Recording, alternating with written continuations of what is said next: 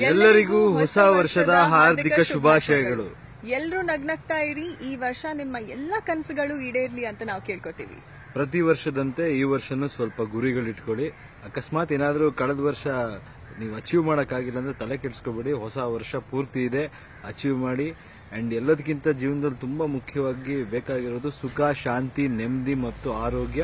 ಅಷ್ಟನ್ನು ನಿಮ್ಮ ಕುಟುಂಬದ ಎಲ್ಲರಿಗೂ ದೇವರು ದಯಪಾಲಿಸಲಿ. Happy new year happy new year